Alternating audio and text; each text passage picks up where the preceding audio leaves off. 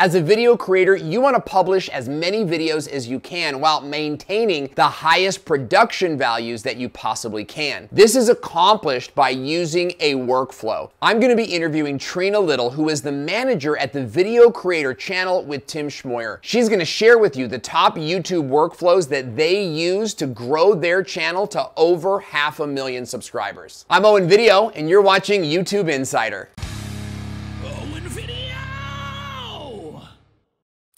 What are the systems and the processes that will help take your channel from where it is now to where you want it to be? I'm talking with Trena Little, who runs the channel over at Video Creator. What are the systems that every YouTube creator needs to have now to get to the next step in their channel? You have to have a video workflow. We call it a workflow so we know exactly what needs to be done when. You may not have the time to spend eight, 10 hours on YouTube a day. So when you're when you have an hour before you're running to your next meeting because this is your side hustle, how can you easily jump right back into where you left off without wasting time Oh. trying to figure out, all right, where did I leave off? This Yeah. is gonna save you so much time. So having a checklist, your pre-flight, checklist, your workflow in place just really condenses that time to get a video live. Yeah. We're so used to seeing Tim and the character, the personal side of the channel, Mhm. but you're actually running the back end side Yeah. of the channel. This is the video creator channel with Tim Schmoyer. He was the very first YouTuber I ever started following. That led me to Derral Eves and VidSummit and the whole creation there. But you run the show there. Tell, tell us a little bit about what your role is there. Mhm. I basically take Tim's ideas, video ideas, the full process to uploading, optimizing, and promoting that video. So really determining which videos we want to tackle uh, and how we're going to basically produce that. What's the content gonna be? What's the thumbnail gonna look like?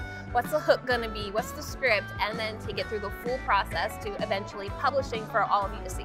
So a lot of times it can be very difficult to stay consistent. There's a lot of things going on. I'm a mom to two small children, so there's a lot going on at my house. And so what I learned early on was there needed to be a process so that I wasn't wasting time repeating the same things over and over. Yeah. So it basically started with a checklist, kind of systemizing that in a project management tool. Yeah. I've used Trello and now I'm on Asana and just getting that set up so you can track everything together so you're not constantly repeating yourself and doing the same thing over and over. What are the big workflows that you use in Asana to, to keep Mhm. the channel organized? So I set up my Asana in different columns. So when it's in column one, let's say that's the research phase. I'm taking the video idea and figuring out what direction are we gonna take this video? What's the strategy for that piece of content? Yeah. Because just an idea doesn't really help us figure out what direction we're gonna take it. Uh, so I'll do the research and then I keep all the research on that card as well. Yeah. So that I can come back to it um, when I'm jumping in and out as I need to because I will also batch time. So if I'm researching this day, then I can easily get back in the next day Yeah. and figure out, okay, now what are we gonna title this before we even script it? So then the next column will be uh, scripting the content, then we move over to thumbnail idea, then we move just the process from A, A to Z basically. How much time do you put into research Mhm. and how do you sort of boil it all down?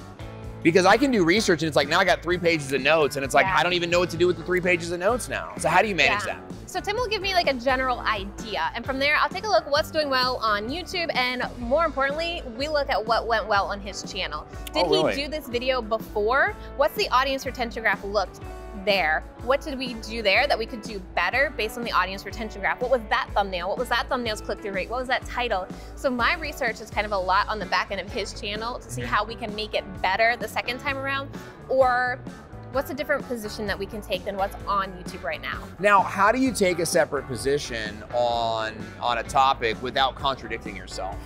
uh, come from a different angle, not just so like let's say how to create thumbnails that are click worthy. Yeah. Maybe one time we talked about you know graphics of it, and this time we're talking about whether text is right or not for your thumbnail and what position you should take on text or what position you should take on branding or what position you should take on the title and the thumbnail and how those go together so Yeah. just nuances Okay. All right. Mhm. So, how much time do you spend researching a topic? Um, I like to set a timer for about 30 to 45 minutes for each video. Otherwise, you're just going to keep going down a hole and you're going to look at the clock and be like, crap, five Yeah. hours later Yeah. and you're not getting anything done because you can research forever, but you need to move on. And talk to me about like that 40 minutes of time. Like Mhm. what's step one, step two, step Mhm. three, step four, and then it's doom, it's 40 minutes. Yeah, so I'll go into YouTube first. Let's see what's showing up, uh, what people are talking about, how they're opening their videos, what position are they taking on that topic. Then I go into Tim's videos and I see have we done this at all before? And what did the audience retention look like? How did the audience engage with it? What were the comments that were posted on that video? And can we answer some of those questions in this Wow, video? Wow, yeah, that's big. That's big. Mhm. What about production? What's the biggest system that you work with in the production side that's helped you to get your channel to the next level? So I get everything ready for Tim and then I will just notify him, hey, these videos are ready to shoot and Tim will batch. Uh, and then he will go ahead and get those uploaded into a Dropbox and our editor will start editing. I will advise her on what I need changed, uh, what, how to edit it, maybe what social media clips we want pulled out. Does Tim get the whole concept for the video or just kind of like, hey, Tim, we need you to say this? Yeah, I write a script for him. Okay. So Tim's on Trello, so I basically write the script in our card for that particular channel so that he can pull it up. I will give a summary and maybe bullet points so he can riff on it and Yeah. give his own position on it. Uh, can you share the format that you guys use for a Mhm. script like that? Yeah, so we have the hook. Obviously, that's the most important. We have to grab their attention How in the long- first three to five seconds. And then one of the keys I've really been working with is determining what's the call to action for that video? What video are we gonna send them to next? So Yeah. we can prove to YouTube, hey, we're a bingeable channel, so we can start getting more suggestions in the browse features and suggested. Yeah. But talk to us about the content. Is it like a three bullet point structure? Is it like a, a story arc? Mhm. Um, you know, when does the story end and when does the call to action begin? Tim has been testing some things. We have the new uh, Creator Story series on Okay. his channel, which is more storytelling. We take a story of a creator. A lot of the educational content will follow that structured tips or steps so that it's easy to consume. It's easy for you to follow and have a win at the end of that video. So you feel, wow, this was super helpful. I need to watch another one from this person. How about the the end of the video? You've reached the climax, the pinnacle point of your video, but you still want people watching for another Mhm. 30 seconds, 45 seconds. Yeah. How do you guys frame that? We will focus on delivering content until basically the last 10 seconds because those thumb, those uh, click-throughs, those end screens are those last 20 seconds. Yeah. So we're focusing on delivering content up until the last 10 seconds so that the end screen can show up and then we will have that call to action relating to the video that we they're watching. What should they watch next? What is the viewer's journey? What Yeah. makes sense for that next step in that viewer's journey? Yeah, okay. So Tim handles like the videographer part of it and the camera work yep, all at his house. Then you've got B-roll and sort of cutaways and, and Yeah. that sort of thing. Does your editing company just handle that? Yeah. Like, what does that look like? Julia, who is Tim's editor, is amazing and she's been with Tim longer than I am. Oh, so she has a lot of customized animations and she kind of has the structure built out as it is. So she adds all that stuff in for So us. you don't have to go through the script and sort of highlight it and No, say, she she's learned Tim's process Yeah. and she knows. And then I will watch it and say, hey, maybe we need this change or maybe we need to zoom in here if there's any edits I need. tell me about a, a contractor or a vendor that you did have to train Mhm. to kind of get them doing things your way. Yeah, I have my own channel and I've been working with an editor to kind of get her to know me. Yeah. So one thing that we've done is create a bucket or a folder of B-roll footage that we can use more than once. Yeah. So I can always just link to that. Uh, I like to use GIFs a lot. And Yeah. so having a bucket or a folder of GIFs she can easily pull from. It's actually, it's pronounced GIF.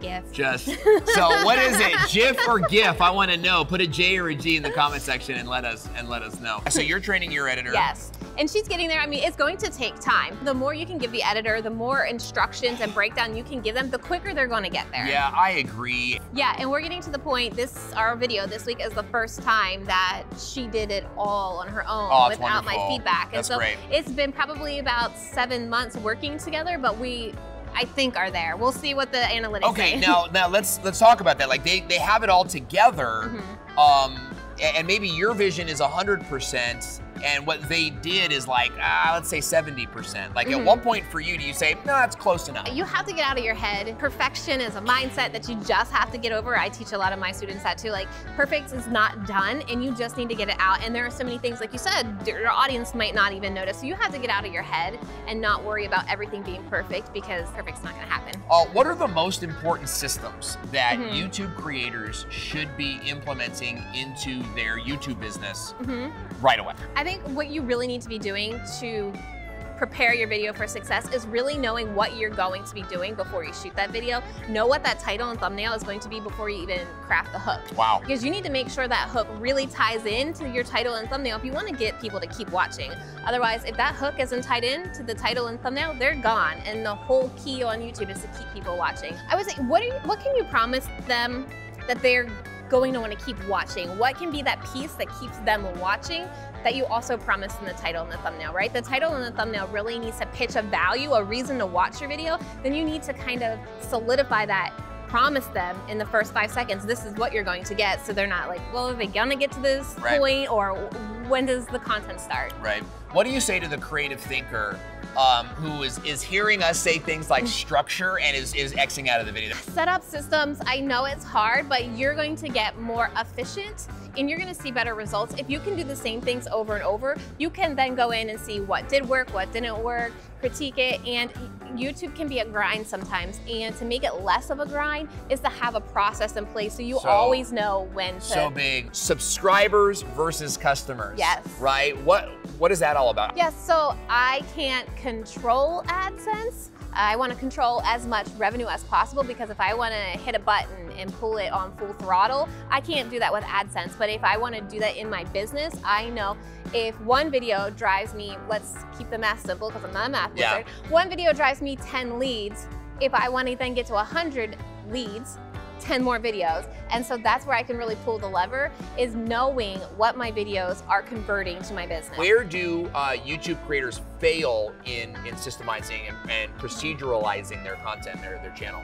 Just not doing it. Like you think I have, oh, I have a notebook with my checklist or I have a whiteboard, but if you want to get to a point where you're outsourcing, even if you're bringing in an assist, an assistant, they don't have access to your notebook. They don't have access to your whiteboard. You've got to get it digital and you've got to get some kind of process in place. If you you get to that point where you need to bring someone on to help you to crank out more content. So just getting, even if it's maybe five steps that you go through every single time, that's a start. Coming up with that checklist isn't easy and it isn't fast because you gotta think about all those nuanced steps. If you couldn't do it, what's every single step somebody needed to do to get your video live?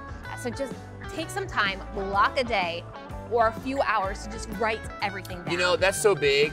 YouTube creators and business leaders, thought leaders, we rarely stop yeah. to just do the groundwork and lay the mm-hmm. foundation of the channel. Because most of the time you're like, well, what's the ROI on this? Well, if you can get this system in place, you can put more videos out who drive you more leads, drive you more revenue. So do you have a, a PDF guide or, or some type of, of format that we can use to start systemizing our channel? Yeah, I have a video strategy workbook that kind of breaks down everything I do to set up my channel and then also gives you all the dimensions for all the social platforms wow. because I like to maximize my video reach to get in front of more people.